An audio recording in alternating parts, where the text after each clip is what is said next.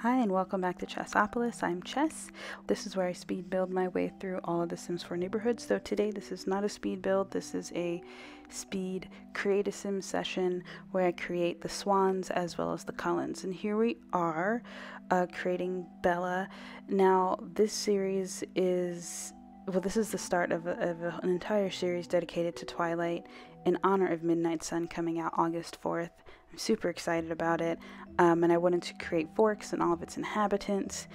And I wanted to create it based on the book um, in terms of what they look like and in terms of the town, too, in terms of the descriptions. And some of the movie definitely played inspiration in the build, but the, I went strictly by the book and my own imagination with the, uh, the cast here.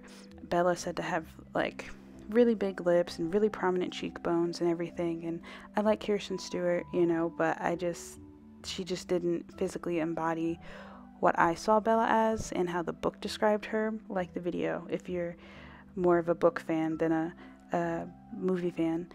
Um, though I like both, but in terms of the character description, I like the books. Um, yeah, it was a lot of fun creating her. It was a little difficult trying to find like the perfect hair because there's like the long hairs in The Sims are kind of boring to me. The medium hair is kind of where it was at. I you know, I tried to recreate like the dress that she wore to the formal when she had a broken leg and things like that. Just try to give her that real casual, plain Jane kind of vibe that she gives off in the book, at least in the first book for the most part.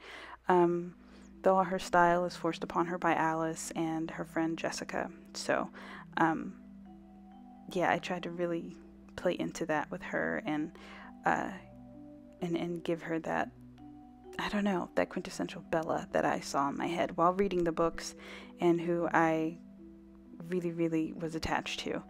Um, it's just so funny how plain she's supposed to be, but to herself at least, but to everyone else, she's like this exotic creature because all the boys at school like her. But according to the uh, book description, with her really strong jawline and cheekbones and, and facial features, you know, she was really attractive.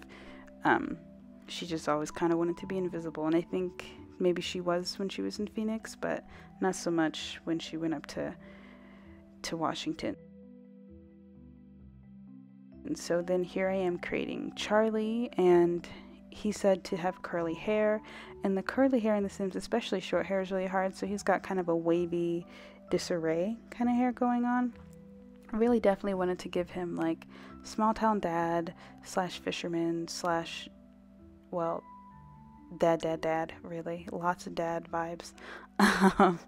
Um, just really wanted to give him a casual look a real you know i don't know like he doesn't really care but not like he's sloppy. It's just not a big thing for him. He probably has four shirts and four pairs of pants, you know? Like Charlie's just a real simple person, and I kind of wanted to keep it like that with him as best I could.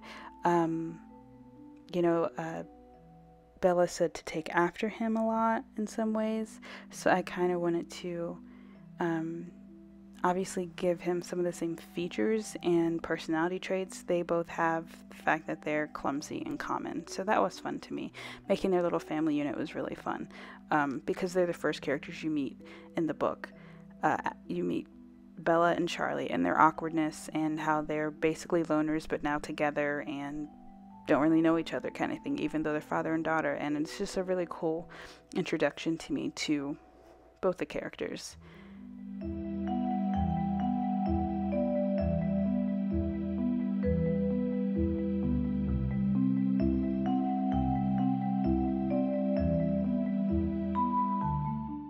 So here I am starting Edward. I just started from a random sim, and again, base it off of um, the book description. And he's supposed to have like a really, really angular, high cheekbone, strong jawline. According to Bella, she even compared him to like Adonis, the Greek god.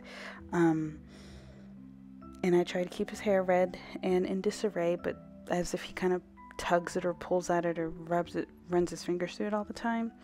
Um, yeah, but I wanted him to also look expensive, but not overly expensive because he's trying to blend in, but not so much.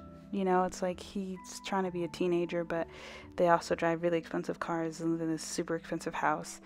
Um, kind of ostentatious cars, actually. So I kind of wanted to give a little one up to that and gave him this gloomy personality trait because he's so, so depressing in the book.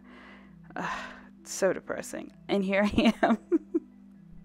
I was always more Team Jacob, but here I am um, with Alice. She's my favorite Cullen, my absolute favorite. Uh, in the movies, I thought the actress they chose was a pretty good um, option, though I always saw Alice as short, as she is described in the books, and I saw her very pixie like, uh, with really short hair, not like that weird bob flip, flip, Mama Brady kind of thing. It just was not, it was not my bag. But I definitely, doing this whole cast, it was really fun because I really got to play with who I saw these characters as in my imagination reading the books over and over and over again. so Alice was Alice is definitely my favorite. She doesn't get as much of a attention in the movie, but she's a huge huge huge hugely central character to the entire series because without her they honestly wouldn't know anything. Um, she, yeah, she she knows things up to the second, and things always change. But she's she goes with it. You know, I, I love I love Alice. I think she's a really strong character. But from here, you'll see me do Jasper and Carlisle and Esme and Esme and just the rest of the Cullen gang. So enjoy the cast and thank you so much for watching. Don't forget to like and subscribe so you can see all the other videos I do for Midnight Sun. Bye.